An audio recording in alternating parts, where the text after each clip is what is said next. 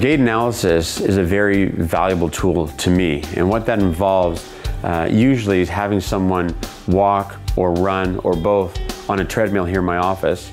Um, I'll video record them uh, walking or running.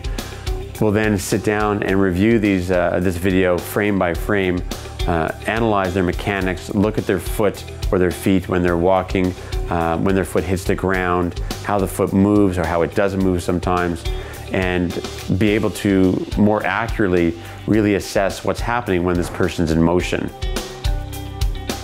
I can review the video footage with the patient. We break down the video into a frame by frame review. If I see some abnormalities, I can make a correction to their feet in a temporary fashion.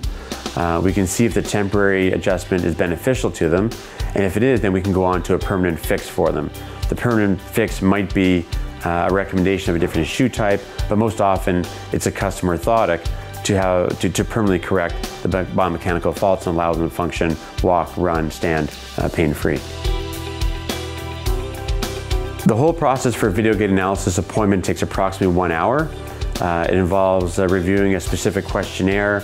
Uh, it involves some static photos of the patient. It involves video footage of the patient standing, walking, and running and it also involves reviewing all of this again once some adjustments are made. So typically I allow 45 minutes to an hour for an appointment like that.